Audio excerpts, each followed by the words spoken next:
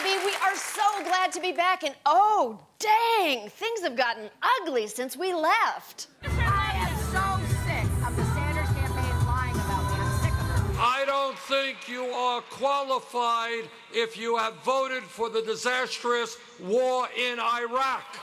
I think Nana and Zadie are getting a divorce.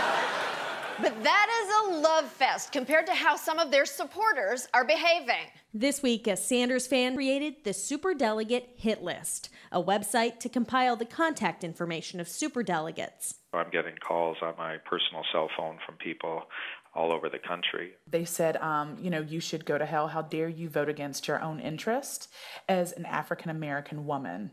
Hey, cool the harassment. These aren't female gamers. They're actual people. Look, do you even know what superdelegates are? I didn't. That's why we had to go away for two weeks. I'll try to compress it to two minutes. First of all, political parties aren't the government. They're semi private clubs. If they wanted, they could use a sorting hat to pick their nominees. yeah, Slytherin! In the 1800s, party officials would just gather in a snuff bar and nominate the guy with the best facial hair, which, admit it, Brooklyn for Bernie, you could get behind.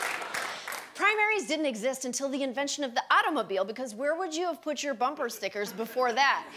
And party elites still controlled the nomination until 1968, when primary voters cast their ballots for anti Vietnam War candidates, and the Democratic Party said, mm, Thank you much. We've decided to go in another direction. Longtime full frontal viewers may remember that night. Dig it, beautiful people. I'm Sammy B, live in Chicago, where my husband's letting me report from the Democratic National Convention. What a gas! Man, I got a heavy trip to lay on the two thirds of Democrats who voted for anti war candidates. The nom just went to Hubert Humphrey, the establishment cat who didn't run in a single primary and got all his delegates from party bigwigs. Far out! What did that chick say? Humphrey's the nominee? What? Oh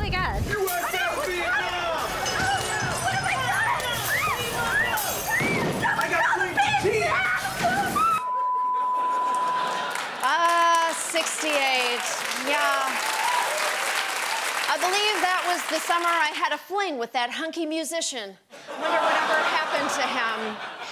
To avoid another riot, the Democratic Party changed their rules to give power to the people, which the people celebrated by dropping a shit ton of acid with Hunter S. Thompson and nominating George McGovern, who went on to a resounding general election victory in D.C. and Massachusetts. Four years later, they picked saintly, ahead of his time Jimmy Carter, who only won because his opponent, Gerald Ford, was the Harley Quinn to Nixon's Joker. And four years after that, Ted Kennedy waged a brutal primary challenge that left Carter as weak and defenseless as a woman left to drown in an Oldsmobile. Sorry, guys, Ted Kennedy did a bad thing. The Democratic Party had OD'd on democracy. Even their overdoses are boring.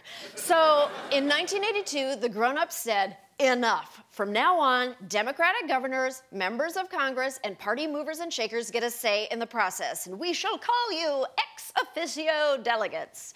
That way, everyone who speaks Latin will know how you got this job. Normal people will call you superdelegates and have no idea. These people are like political wizards. They have the power to support any candidate they want. Like the great and powerful Oz, these superdelegates are pulling the levers of power in your political party. You do realize the whole point was that Oz wasn't powerful, right?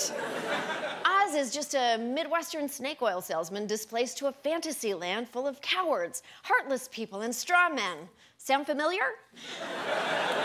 Superdelegates' only job is to act in the best interest of the party. That's why they have never tried to override the will of the voters. Not because they care about us, they don't, but because pissing off the voters is bad for their party. Remember? If Bernie gets more votes than Hillary, her superdelegates will drop her faster than she drops her fake Southern accent the second she leaves South Carolina. How do I know? Because they did it in 08. So if they're not going to subvert the will of the people, what's the point of superdelegates? Think of them as the driving instructor with her foot hovering over the brake. She'll only use her power if the party is about to do a Thelma and Louise, like if, hypothetically, John Edwards had been in the lead when this turd dropped on the eve of the 08 convention. John Edwards admitted today that he had an extramarital affair while his wife was battling cancer. Oh, he is gross. Point is, when Democratic voters have cause to regret their choice, superdelegates can help them fix it. They aren't there to protect Democrats from someone like this, they're there to protect them from someone like this. Believe me, Republicans would give their left nut for superdelegates right now. So, Democrats, when some jackass goads you into drunk dialing a superdelegate in the middle of the night, instead of saying, hey, bitch, switch your vote, say, hey, bitch, thank you. We'll be right back.